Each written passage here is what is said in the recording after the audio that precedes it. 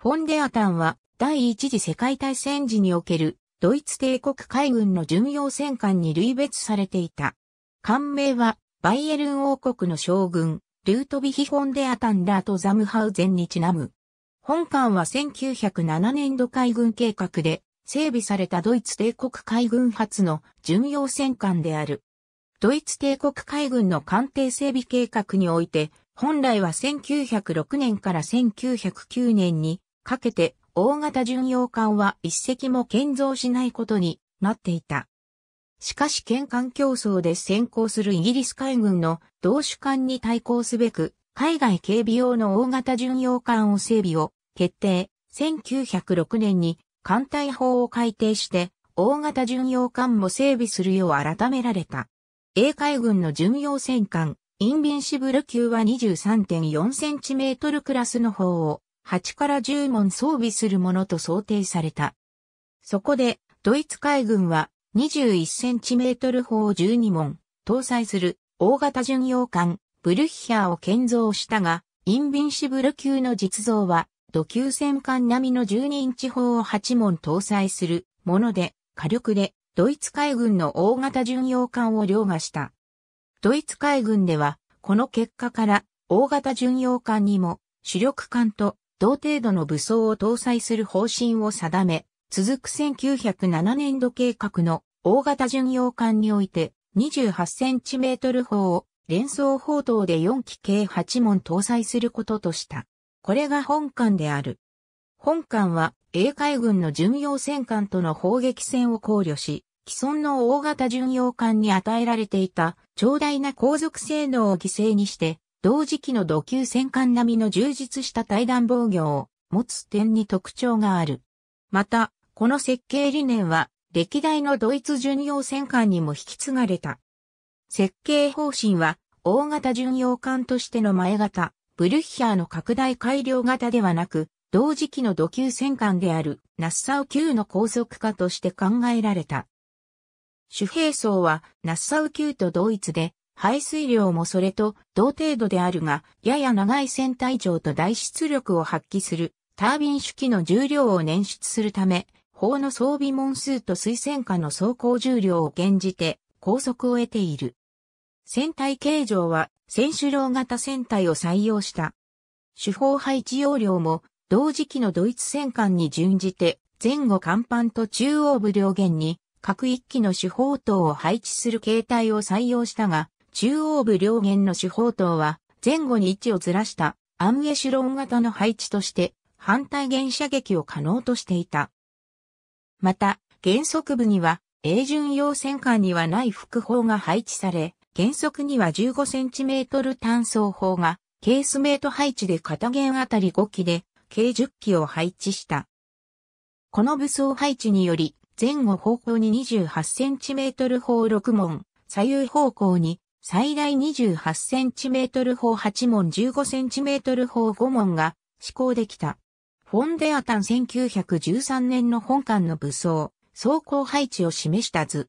手法は新設計の1907年型28センチメートル砲を採用している。性能は重量 302kg の砲弾を最大行角20度で14,900メートルまで届かせることができた。不要能力は行角20度、深く7度である。さらに、旋回角度は原則ケースメート配置で150度の旋回角度を持っていた。原則配置の2番3番主砲塔は原則方向には180度の旋回角度を持っていたが、反対弦方向には上部構造物が回を狭める関係で80度の旋回角しか持てなかった。発射速度は毎分3発である。副砲については、1906年型 15cm 砲を採用した。主行動水域と想定される北海では霧などにより視界が悪く比較的近距離で主力艦同士の砲戦が開始される可能性を考慮し、ドイツ海軍は発射速度が主砲より高く単位時間あたりの発射弾量で有利となり得る 15cm 級中高系副砲の装備を重視したものである。その性能は重量 45.3kg の砲弾を最大行角20度で18,900メートルまで届かせることができた。不要能力は行角20度、深く7度で、旋回角度は原則ケースメート配置で150度の旋回角度を持っていた。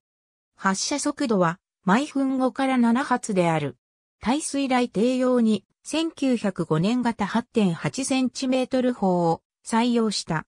その性能は重量 9kg の砲弾を最大行角25度で1694メートルまで届かせることができた。不要能力は行角25度、深く10度であった。発射速度は毎分15発である。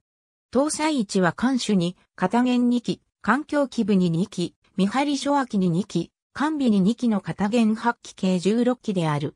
水雷兵装として45センチメートル単装魚雷発射管を水戦下に4門装備した SMS フォーンデアタンブロームーンとフォス社で建造。1908年3月25日起工。1909年3月20日浸水。1910年9月1日竣工。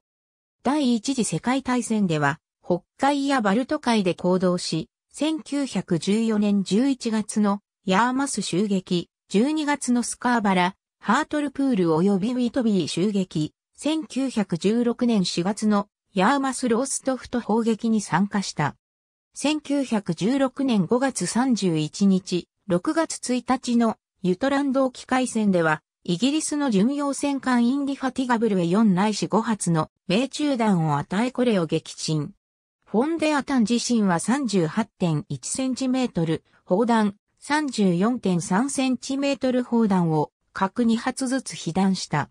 また、この被弾と故障によって一時は全砲塔が射撃不能になる事態に陥っている。第一次世界大戦休戦後、スカパフローに抑留され1919年6月21日に自鎮。